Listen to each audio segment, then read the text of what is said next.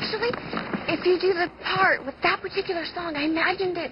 Which If we do the part, Kelsi, my sawed-off Sondheim. I've been in 17 school productions. And how many times have your compositions been selected? this would be the first Which tells us what? that I need to write you more songs. No. It tells us you do not offer direction, suggestion, or commentary, and you should be thankful that me and Ryan are here to lift your music out of its current obscurity. Are we clear? Yes, ma'am. I mean, Sharpay. Nice talking to you.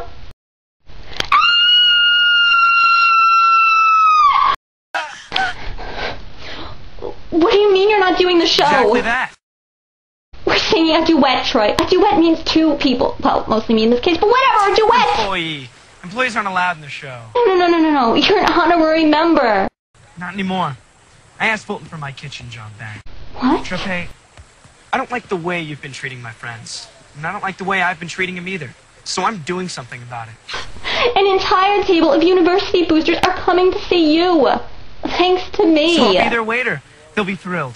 Troy, Troy, this could change your life. I'm more interested about what my friends think of me and what I think of myself.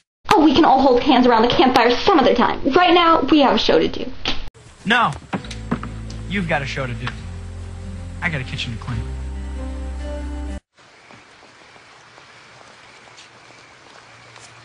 Forget about the rest of us. How about the fact that your brother has worked extremely hard on the show?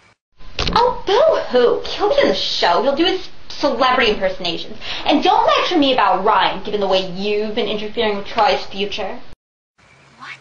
You've got him written up by Fulton for sneaking on the golf course, swimming after hours. I had to step in just to save Troy's job. I'm not interested in what you think you're doing for Troy. That's between you and him. But you're messing with my friends, my summer, and that's not okay with me. You don't like the fact that I won. What's the prize? Troy? The Star Dazzle Award? You have to go through all of this just to get either one? No thanks, Sharpay. You're very good at a game that I don't want to play. So, I'm done here.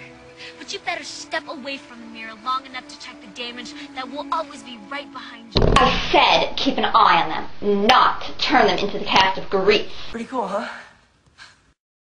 Do you want us to lose Star Dazzle Award to a bunch of dishwashers? Us? Well, I guess that's showbiz. When did you become one of them? You know, I'll take that as a compliment. But you and Troy have a good show, sis. Oh, we plan to. That new duet that Troy and Gabriella sing? I need it. Actually, it's not available. Repeat? It's something I wrote for Troy and Gabriella, just in case they disagree. We're an employee here, not a fairy godmother. Let's have it. Transpose it into my key. Troy and I will be doing it in the talent show. Oh, and bring up the tempo. We'll need to keep people awake. What about our song? What about Humu Humu? Changing plans. What am I supposed to do with my Tiki Warrior outfit? Tim for Halloween? Go to a luau? Sell it online? I don't know. But in the meantime, keep an eye on those Wildcats. If they're planning on being in the show, which I doubt once they hear about Troy and me, I don't want any surprises. Oh, and don't worry, we'll find something somewhere for you in the show. Or the next show. Don't strain yourself, Slick. My life is over.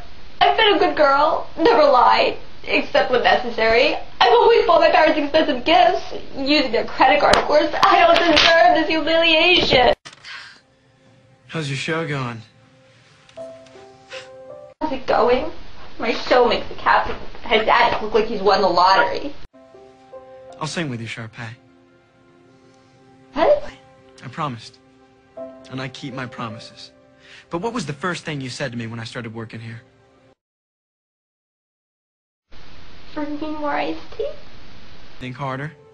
We're all in this together. Exactly.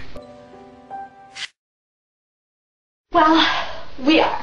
So let's get out there and knock him dead, Troy Bolton. I do the show if the Wildcats do the show.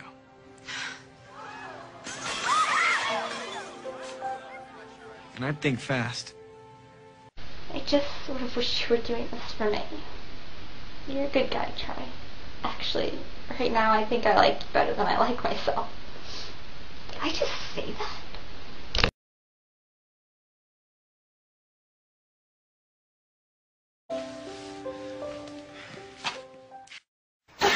And neither do I.